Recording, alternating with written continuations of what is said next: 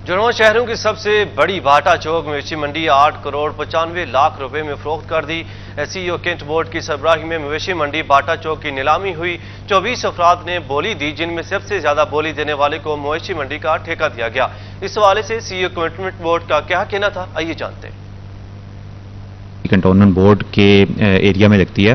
और इस दफ़ा हमने वेल बिफोर टाइम इस मंडी की ऑप्शन कर दी है और वेल बिफोर टाइम ऑप्शन करने का मकसद सिर्फ़ और सिर्फ़ ये था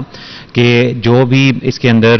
कॉन्ट्रैक्टर्स इन्वॉल्व हैं, उनके पास सफिशेंट टाइम हो, उन्होंने जो अपना होमवर्क करना है वो प्रॉपर होमवर्क करें और पिछली दफ़ा वाली जो मंडी थी उससे कई गुना ज़्यादा अच्छी मंडी लोगों की सहूलियात को मद्देनजर रखते हुए वो हम लगा पाए।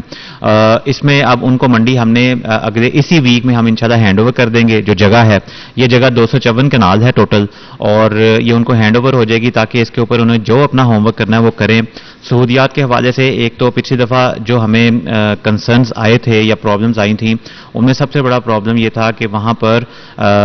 रश बहुत हो जाता है, आपको पता आखिरी दिनों में, और इलीगल पार्किंग और एनफोर्समेंट और टेम्प्रेरी इंक्रोचमेंट के हवाले से बहुत सारी शिकायत थी। इस दफ़ा रावलपिंडी कंटोनमेंट बोर्ड ने अपनी परमानेंट टीम्स वहाँ पर अभी से डिप्यूट कर दी हैं, जो कि इन तमाम एरियाज़ की जो शिकायत हैं, उनको एड्रेस करेंगी।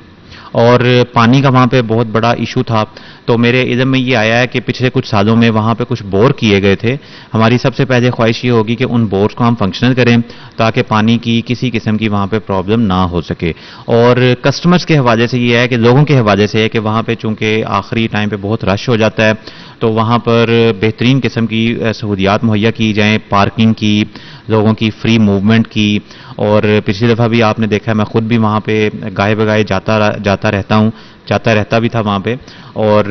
फैमिलीज़ को हमने ज़्यादा से ज़्यादा अट्रैक्ट करना होता है अपनी इस मंडी के